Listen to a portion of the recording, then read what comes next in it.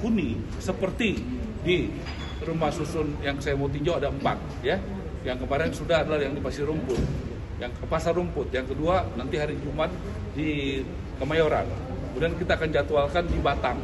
Kemudian ada di Rancaikek. Kalau bisa itu nanti karena keterbatasan dana, kita akan membuat re- renovasinya itu dari teman-teman pengusaha. Jadi, ti- jadi tidak menggunakan uang negara. Ya begitu. Jadi saya juga akan koordinasi dengan Pak Ate, Kepala BPKP, supaya yang memberikan bantuan aman. Nah, tinggal nanti saya ingin menemukan kepada siapa ini diberikan supaya tepat sasaran. Dan perumahan itu ekosistemnya bagus. Kalau harapan saya kepada PNS yang berpenghasilan rendah, TNI yang berpenghasilan rendah, Polri yang di bawah, guru-guru, ya, kemudian masyarakat sekitar. Nah, jadi ini adalah pemikiran kami. Ya, mohon datang nanti ya hari Jumat jam 2 kami dan pemerintah DKI akan datang ke rumah susun eh, Pasar Rumput untuk open house. Bagaimana terbuka kepada publik, transparan, yang berminat supaya daftar dan nanti akan diverifikasi. Dan kita juga usahakan di situ ada buat milenial. Milenial yang bekerja sekitar Tamrin, Kuningan, Sudirman juga akan ada alokasinya. Supaya apa? Supaya kemacetan dikurangi. Kan rata-rata tinggalnya di sekitaran Jakarta, Depok, Bekasi, Bogor, Tangerang kan gitu. Jadi supaya kita konsep kita jangan jadi konsep terus-terusan, harus kita eksekusi. Bagaimana orang itu kerjanya di tengah Jakarta Pusat, jangan tinggalnya nanti berapa jam dia pulang ke rumah, berapa ongkosnya, berapa waktu buat keluarga yang akan habis. Jadi quality time juga akan kita harus pikirkan. Ya, mohon doanya ya. Tadi kapan kasih banget sedikit soal mobil dinas bang. Soal yang mau itu kan Prabowo katanya mau Oke. pakai mau lagi Pak Prabowo katanya itu nanti akan jadi HGB atau jadi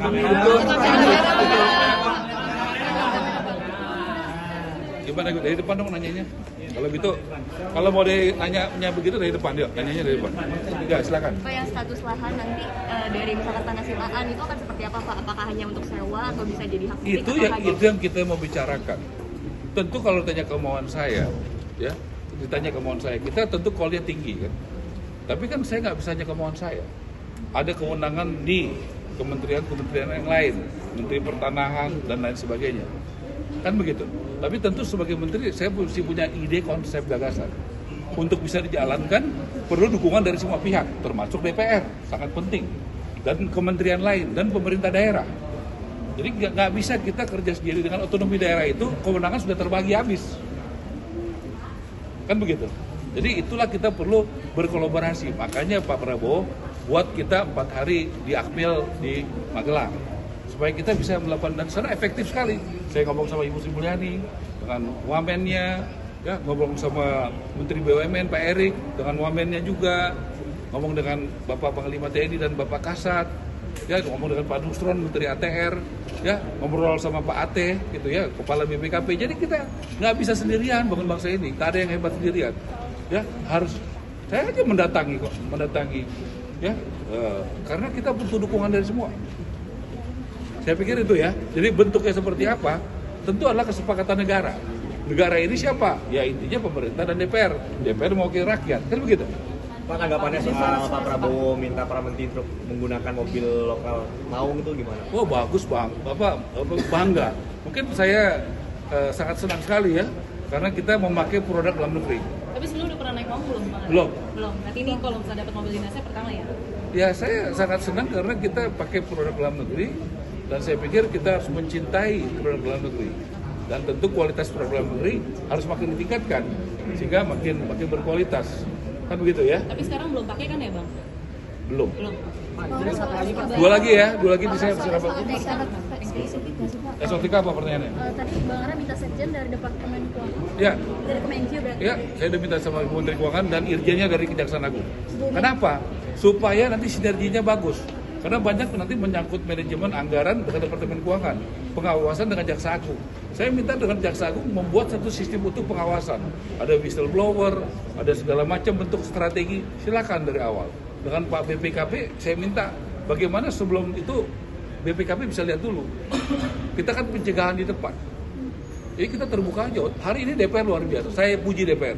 Hebat sebagai wakil rakyat mau bicara terbuka semua rapat terbuka dan satuan tiga dibahas. secara terbuka dan diputuskan terbuka. Saya pikir Pak Lazarus dan teman-teman DPR hari ini harus diberikan penghormatan ya dalam rangka transparansi. Kita lihat Denmark kenapa jadi negara yang korupsinya rendah.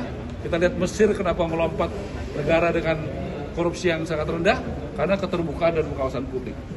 Bang untuk Bu Menkyu untuk setuju ya Bang? Ini udah cukup ya. Kalau Satgas Ya, ya. Ketemu kalau ketemu lagi hari Jumat ya di apa? eh, jam 2 di pasar rumput ya. udah 1,25 juta itu.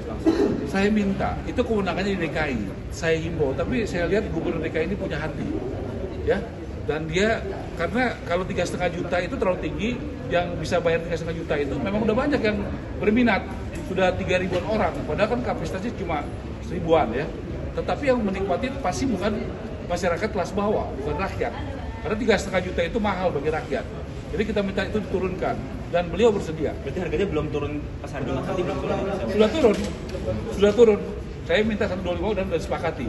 Bahkan nanti kalau bisa ada subsidi silang. Berarti untuk yang mau sewa hari Jumat bisa langsung dapat harga 1,25 juta itu ya sewanya. Iya, kita itu average ya, karena itu kan pengelolaannya 18 miliar selama 10 satu tahun, ya, Meng- mengurus 1.984 rumah.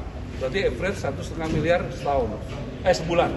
Nah, jadi itu dibagi lagi dengan huniannya itu kan gitu. Nah, jadi kita mesti bisa juga misalnya ada yang gajinya mungkin di atas 8 juta dengan mungkin PNS atau TNI yang di bawah. Saya minta itu ada keadilan. Keadilan itu bukan sama rata tetapi yang lebih punya kemampuan lebih besar daripada yang kemampuannya di bawah. Itu menurut saya beradil. Terima kasih ya.